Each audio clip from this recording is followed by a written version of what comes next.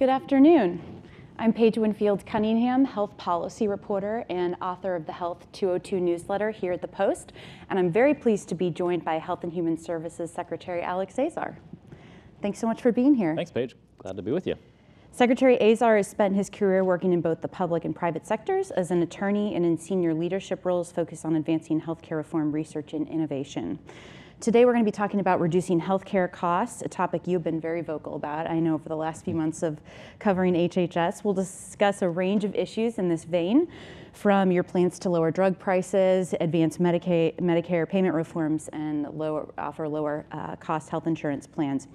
Um, first, I'd like to spend a couple of minutes on the top line news this week mm-hmm. about uh, these migrant children and the administration's zero tolerance policy. And I know we've had some breaking news um, just in the last few minutes, even of uh, this order that the president has issued ending his policy. Can you explain? I think there's a lot of questions right now since we've just heard this. Can you explain exactly what this policy is and what it means for HHS? Sure. So the new, the new, the new, the new.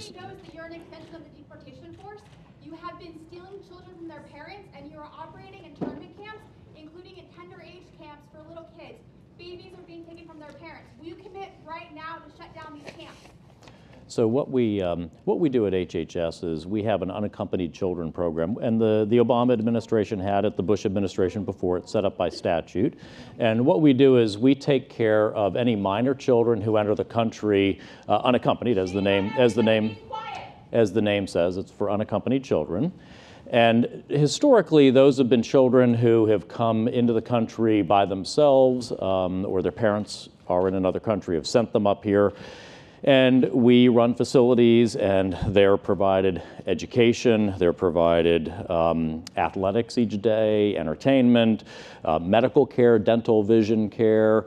Um, and on average, they'll be with us for about 58 days. And what our job is, is to work to find them sponsors with whom they'll then be placed. 50% of the time, historically, they're placed with their parents. And about 40% of the time, they're placed with other relatives, and about 10% of the time, uh, non relative sponsors.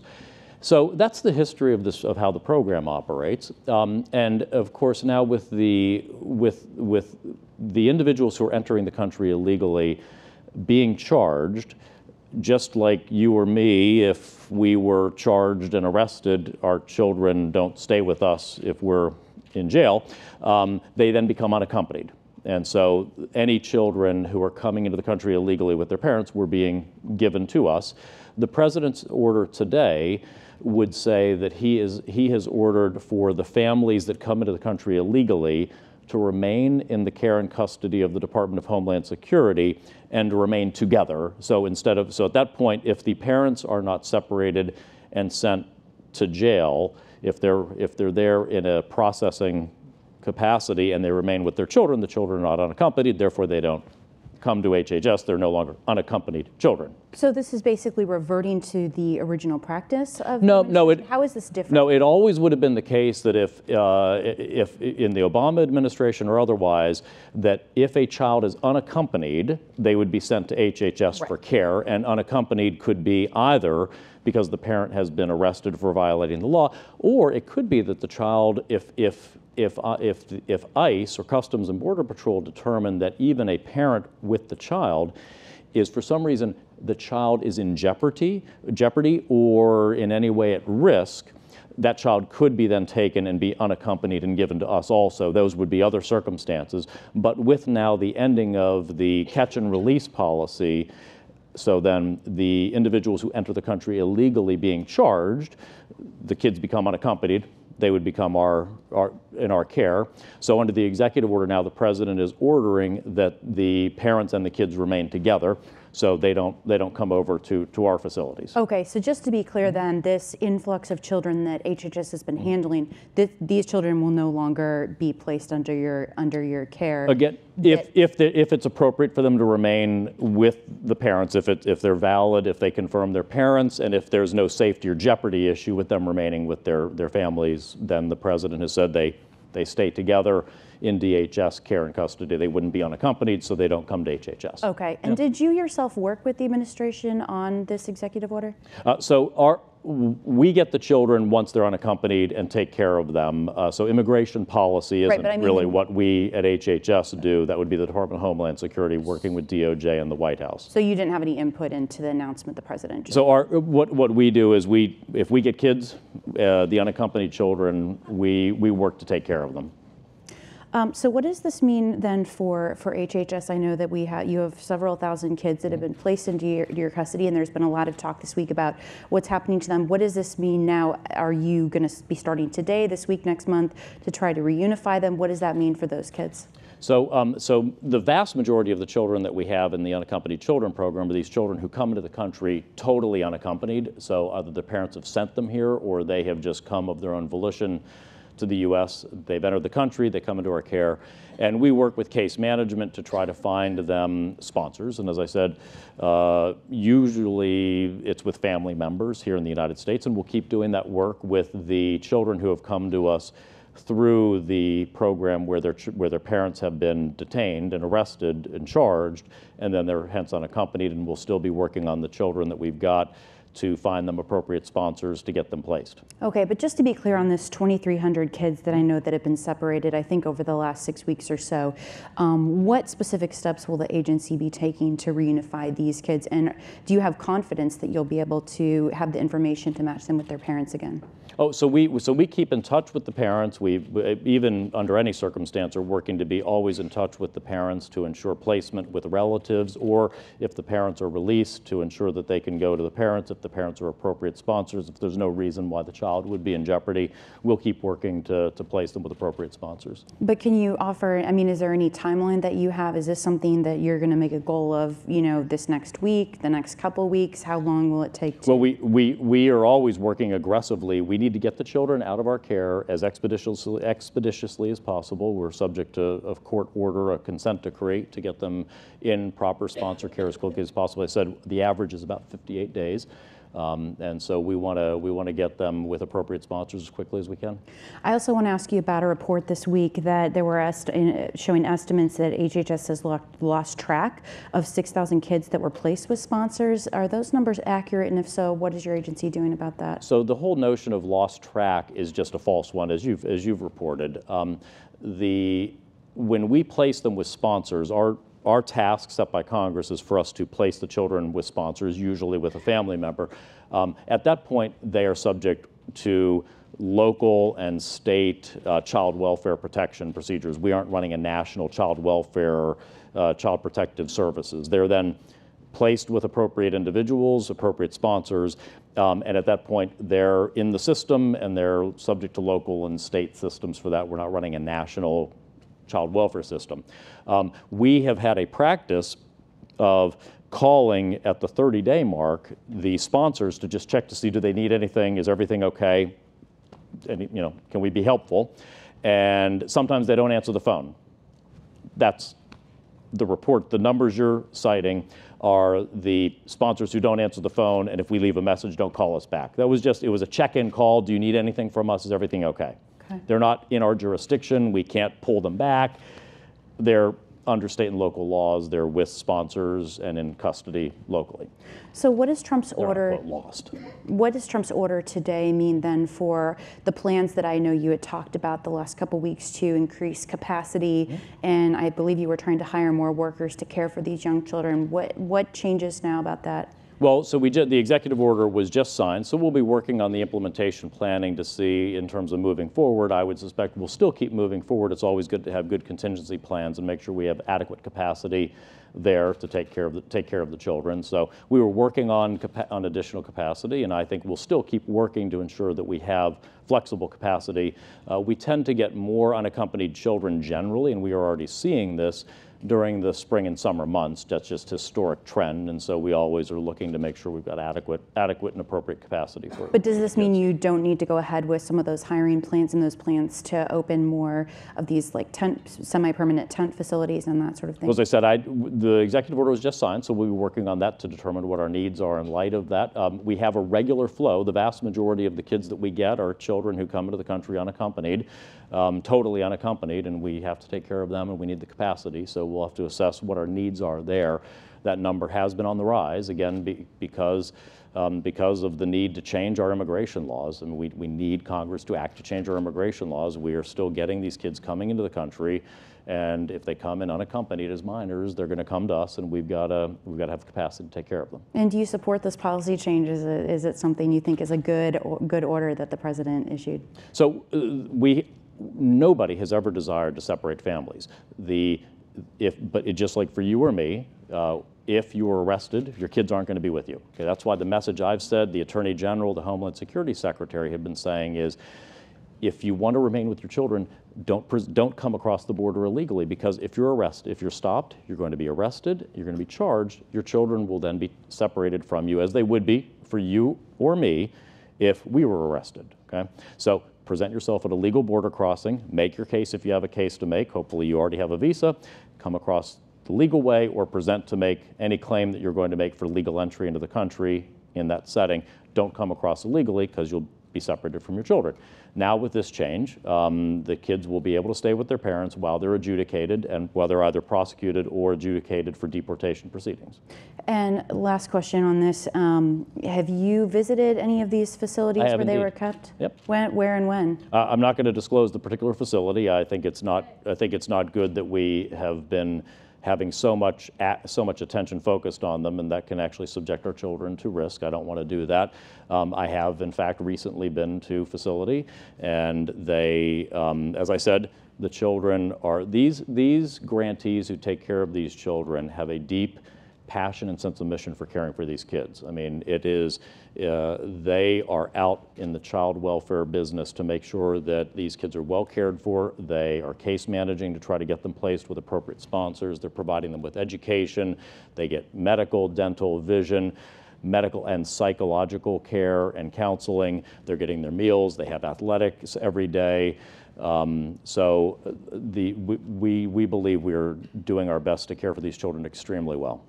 Uh, so, I mean, do you feel as though you've been treated unfairly by, there's been a lot of criticisms charged in the last couple of weeks about how these children are kept? I think once uh, members of Congress have actually, the ones who've actually visited the visited facilities and toured it as opposed to those who are simply talking about it, um, I think they've been impressed by, again, by our grantees, the level of care and the quality of services provided to these children. I mean, it's, uh, um, we're doing it under a consent decree, so there's court monitoring, and uh, I think we do it quite well, and we take the mission quite seriously. Okay.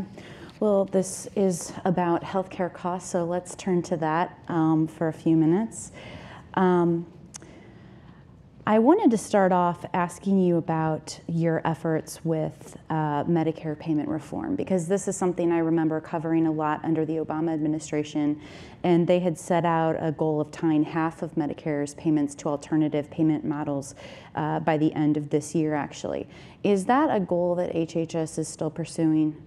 So um, I actually was just meeting with uh, the head of our Center for Medicare and Medicaid Innovation just today at lunchtime, where we were talking about the precise question of we, we want to formulate what our actual goal is for value-based transformation, what our metrics will be for, as I would say, X to Y by when what would be the, uh, the actual con concrete metrics there. I'm not sure that simply being in an alternative payment model, which was the metric the Obama administration used, is the one that I would find to be um, substantive and real in terms of transformation of our healthcare system. What I don't want to do is have is have an approach where it's it's a tag the base, hit a scorecard number, as opposed to I, we genuinely want to revolutionize how healthcare is paid for in this country in an outcome based um, health-based, non-procedure, non-sickness-based way. Um, we were working on that, and that's where we're trying. We want to get to real concrete metrics. I'm just not sure, as much as I appreciate the efforts of both the Bush administration and the Obama administration in driving, continuing this bipartisan drive towards value-based transformation. I'm not sure that's the metric I want to adopt as the measure of success. Then what should the metrics be? Well, again, that's what we're working on. I'll let you know as soon as we but get it, it figured any, out. Paige, I'll tell you first, okay?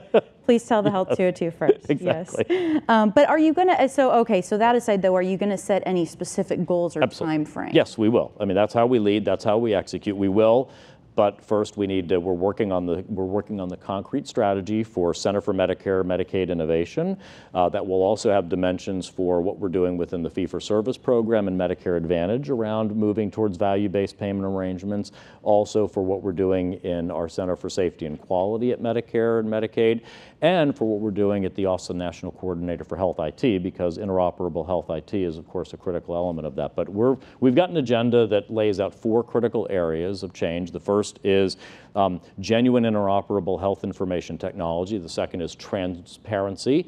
Uh, the third is using the Medicare and Medicaid programs to drive fundamental transformation within the healthcare system, including in the commercial space. We're the biggest payer in the world, and we want to drive that change. And then the fourth is removing any kind of government or artificial barriers to integrative, collaborative care, which is actually what you need to be able to deliver that kind of outcome-based care Right. and payment. But as you know, I mean, so there's a lot of talk about alternative payment mm-hmm. models and people's eyes glaze over. Um, and there has been, I think some would argue, less progress in that direction than maybe many had hoped. Yep. Why?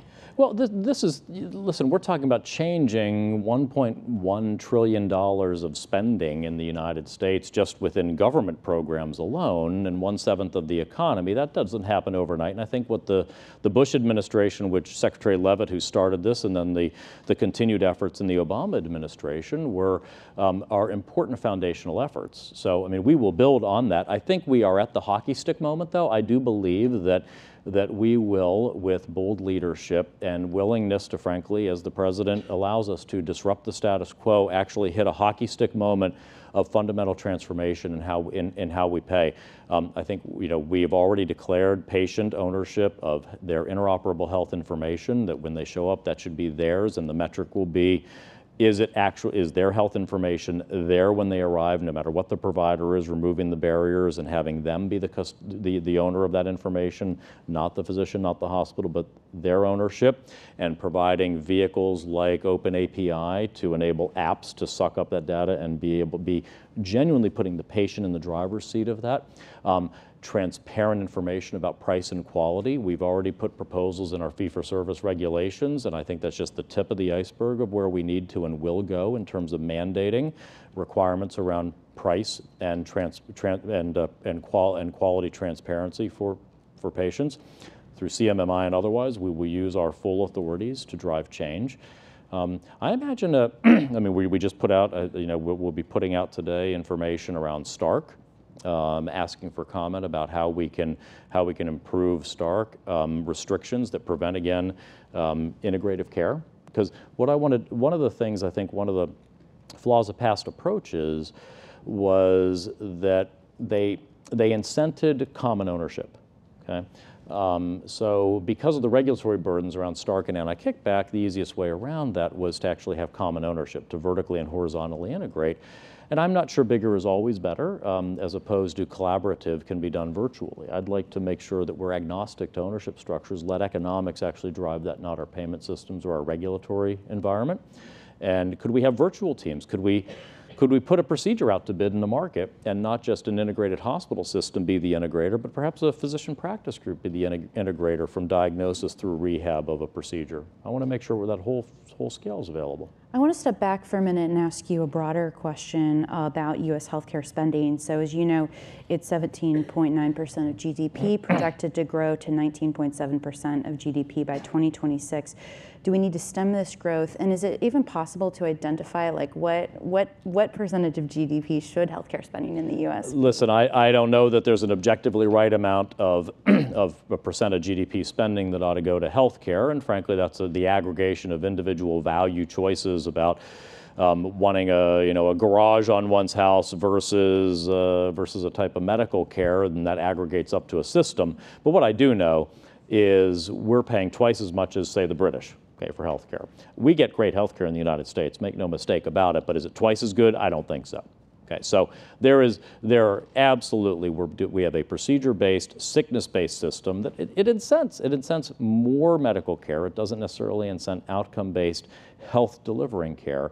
Um, so is it too much? It, yes, it's too much. We want to drive that percent down. We want to drive costs down across the full spectrum of, of services and products in our system. Um, what I don't, again, I don't buy into the notion there's an objective number, but I objectively know it's too high just looking at good benchmarks. And it seems like your job um, is especially challenging because we have such a patchwork system here. I mean, compared to other developed countries, we have a whole patchwork system of insurance. You can pull levers with Medicare and Medicaid, but that's only part of you know coverage for the fraction of the U.S. population or percentage. Um, so I mean, it like how far can can you go on your own in moving the needle as well? So it's it, it it's a fair point, um, but I think that the challenge for us on driving change is offset by the patient being at the center of the system. You know, the, the difference in economic speak is, is exit rights. Um, the genius of our system is that for the most part, patients have choice, and if patients don't like what their insurer is a key aggregator in the system, the choices that insurers make they can, they can often choose a different insurer, and that is a check in the system. In other countries that have a single payer system, the check is only the political mechanism or revolution. Um, I made that statement once at a speech in China, and I said, like, oops. um, but uh, uh, it, uh, I mean, that, that is the check on the system. Whereas here, picking a different insurance company um, is, is the check. And it, yes, it makes my job more difficult. But of course, we have through Medicare, the largest payer on earth. Um, that is where we have through the Center for Medicare and Medicaid Innovation, as well as just our payment regulations and the flexibilities that we have and the discretion that we have, the ability to drive, I think, fundamental change. Um, let's make no mistake about it our healthcare delivery system is in many respects frozen in time from the mid 1960s with an update in the early 1980s. Um, that really tracks Medicare, okay? We, uh, I don't think it's coincidental that the creation of first the Medicare system as, a large, as the largest payer on a cost-based reimbursement system, followed by a prospective payment fee-for-service model in the early 80s, then froze in place a system. You know, if you look at provider contracts with insurance companies, for the most part, they're, they're simply, they're rather simple documents. They're written 120% of Medicare fee-for-service. That's the contract. You know, they're free riding off of the payment regs that we do, or 80% of fee-for-service, whatever. So we, we do drive so much of the system, and so just the ability to change Medicare, I think, will provide the critical mass in the system. Because uh, look, e even if you're a major payer, in many markets, as company as big as a United, as big as, a, as an Anthem or an Aetna, they may have two, three, four percent penetration in a market. And so to be the first mover and actually drive fundamental change in, in, in, of the relationship with a major hospital system, they don't have actually necessarily have the market power to do that. We do through Medicare. I want to talk about drug prices mm-hmm. now because I know that's a lot of what you've been working on in the last few months. Um, and you know there seems to be widespread agreement, regardless of which party you talk to, that prices are just too high. Um, but the disagreement starts over whose fault it is, I mm-hmm. think. Who along the supply chain is most to blame for high drug prices? I don't think it's productive to try to say most to blame. Listen, at the at the I core, of the, at you down uh, well, at the for, well, listen, at, uh, who sets their drug price? The drug company sets their drug price. So, in the first instance, the drug the drug company's to blame for the price they set. That's the that's they're setting the price, okay? Nobody's controlling that. But then there is, it's a very, very strange system that we have, just the way contracts have gotten written over the last couple of decades in the channel that every single player in that channel, drug company, pharmacy benefit manager, and, and wholesale distributor, makes more money, given how the contracts are written, on a higher list price. And as the list price goes higher, they make more money. They will lose money with a lower list price. And we're facing that today because we have, as I've said, we've had several major companies with major products um, reveal to us that they are looking at and want to make substantial and material cuts in their list prices of their, of their drugs. Um, they are facing challenges working through these contractual arrangements so that they're not put at an instantaneous competitive disadvantage by having a lower price. Um, because the way contracts are written is a, to, for remuneration is a percent of that list price. I think it'll work out. I think it is such a good thing if list prices can be lower, that the players in the system, I think the major employers and the major insurance companies, including the folks who were just sitting here before us, um, I think will demand that everyone figure that out. They're adults; they can figure this out. Contracts can be written and reformulated to make this work. It's good for and it's good for patients.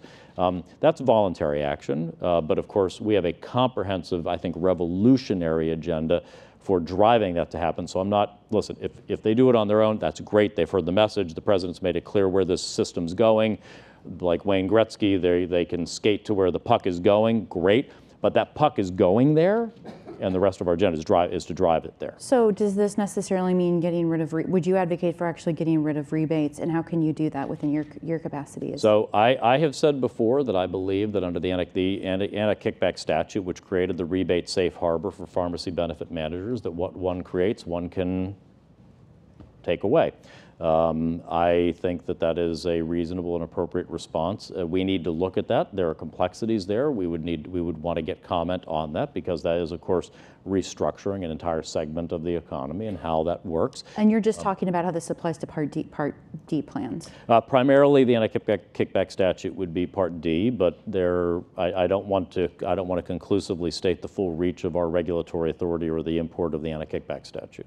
So should we be? I wish to be deliberately ambiguous there. should- well, so but are, are you t- you're taking steps toward that end? You said you're looking We into are, it. we, should we? we are indeed working on that. Okay. Looking at how one would move to, as I said, a fixed disc, a fixed price discount model uh, to look at that instead of ins- instead of a rebate model around pharmacy benefit manager pricing.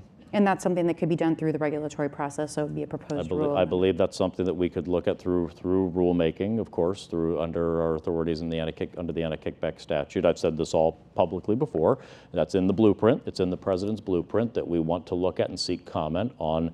Uh, moving towards a fixed price discounting model in the pharmacy benefit manager arrangement. We also, importantly, would like to look at banning all remuneration to pharmacy benefit managers from pharma companies. Because right now, if you're a pharmacy benefit manager, you're making money on the rebates that you're getting. You may be holding back a bit of that, again, based on a percent of list price. You're also making money on administrative fees, which again are based as a percent off of list price, and there may, may be other, other remuneration in there. And it I believe it is a legitimate topic for us to discuss, to discuss and to consider to ban all remuneration from the very entities you're supposed to be banging on to get the best discounts and lowest prices possible. The pharma companies instead receive all of your remuneration on, from the entities who you're serving, your customers. Uh, your boss, President Trump, recently said uh, that there would be quite immediate results from the plan to lower drug prices. Is he overpromising here? How long is it going to take to implement some of these strategies that would then have an effect on the price of drugs? So I'm obviously not going to preempt any announcement by the president or otherwise. I did mention to you already that there are many drug companies who would like to lower list prices and do so rather quickly. Um, and they're working through, frankly, the difficulties of the system and the channel. I remain hopeful that the players in that in the drug pricing channel uh, will all work together to make this happen because it is an undeniable good for patients.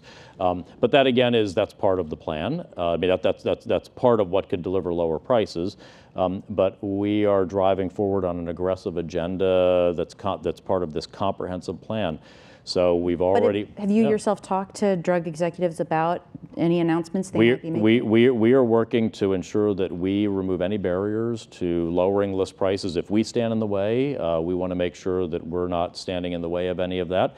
And so we're, we're trying to drive that forward because if that happens, that's what we want. We want lower, lower drug prices. We want lower list prices. We want better negotiation for drugs through our programs.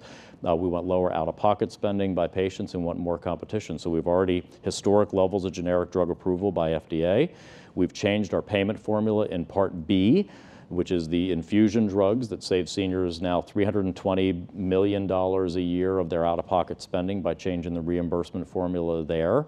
Um, we have already gone after the abuses by drug companies, the branded drug companies, to prevent generic entry through abuse of these so-called REMS or safety programs. We've spotlighted the companies who were doing it. We've put out guidance making it clear that you cannot hide behind these safety programs to prevent access to your drug to the generic to do their quality testing. Um, So we're driving, we're driving this agenda forward very quickly already. One more question on this, though, and there was a lot of talk about how pharma stocks actually rose after the Trump's drug pricing speech in May, and your critics have used this to charge that you're going too easy on drug companies. Yep. Are you? Uh, almost every sector went up that day, so I don't know that we had any impact on the entire S&P or Dow Jones that day. Um, listen, judging your success or failure on a stock market daily and hourly price uh, variations would be a foolish, a foolish enterprise. The core of our policies are strong. They're, they're actually revolutionary. We are seeking nothing short of the complete rewiring of the drug pricing and drug reimbursement system in the United States. Nothing short of that. Those who actually know this this is rocket science. This is a very complex area. Those who've actually studied the blueprint say how sophisticated the president's approach is, that this reflects a deep, deep knowledge of how drug pricing, how drug reimbursement, how pharmacy and pharmacy benefit manager negotiation works, and the very odd incentives in that system and how to get at them in a very micro-targeted way, and that this reflects that. And that's why, frankly, your average stock analyst or other, it's going to be very hard to see the import. Our job is to deliver on it. We'll show you. The proof will be in the pudding of, of results. I want to talk a minute about um, the price of insurance plans. And of course, yesterday we saw the final rule on association health plans. Um, but, you know, I, I, have been struck by the number of health industry groups and patient groups that have expressed serious concerns um, so if these are such a great idea, why are you seeing such pushback from the industry? Well, listen, I'm sure the concerns are well-founded and well-meaning, but our concerns are also well-founded and well-meaning. We're not only concerned about the people that are in the individual insurance markets, and are they getting quality insurance and insurance that's affordable and not just affordable to acquire, but affordable to use? Is it genuine insurance for the 10 to 11 million people in that individual market? But also, what about the 28 to 29 million people who are now priced out of and are not able to get individual insurance because of the failings of the Affordable Care market? You know, 86% or so of the people that are in the individual market are being subsidized for their acquisition of insurance by us, okay? What about the people who, whose income puts them just over that limit, the forgotten men and women, 28 to 29 million? They cannot afford this insurance, and even if they could afford it, it would make no rational sense for them to buy because it doesn't deliver a product that is financially sustainable. To have to, to spend $15,000 for an insurance package that has a $8,000 deductible when you make $50 or $60,000 as a family of four makes no sense for them. And they've told us this by their actions as 6.7 million Americans have paid $3.3 billion of the individual mandate tax to not buy insurance that they can't afford and do not want. And so we're trying to make options available for them, whether it's association health plans or short-term limited duration plans. We're trying to give people a range of options and choices. And we do not believe that it undermines that individual market that is already in there because you effectively have a subsidized market. The individuals in there, we're helping them to buy their insurance and having another option in there is very unlikely, we believe, to draw people from free insurance over to something else. Do you think this will worsen the marketplaces, though, because it will presumably draw healthier people out? And, and I, I don't. I don't believe it will do so in a material way because the people that are in that market right now are subsidized. Okay, these are individuals who are already being subsidized to get it. So why they're going to move from being subsidized to not subsidized and have to buy insurance so for that 80, 84 to 86% of people in that market, I don't see that. I, reasonable minds can differ. Um, I do not see that. I just as a behavioral matter, it makes no sense to me. Because there have been some estimates that, so, you know, if you have the sicker people left in the marketplaces, pushes the premiums up, actually causes uh, some population to actually go uninsured because of the prices in the market. that, that is the system we have, and that is exactly why for the entirety of, of, of the Affordable Care Act's history, rates have been going up, and why for the, you know, for the last five years they've, I think, effectively doubled, is that is exactly the system we have now where you have either people where we're buying their insurance or you have a sick risk pool that's sitting in there um, that, that, that's there. And so your healthy have left. It is the healthy that have left.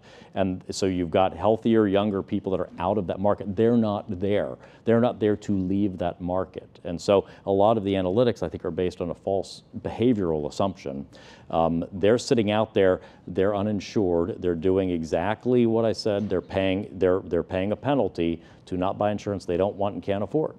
the other prong of uh, what the, tr- the president was pursuing in terms of the leaner, cheaper plans was expanding short-term health Mm-hmm. plans.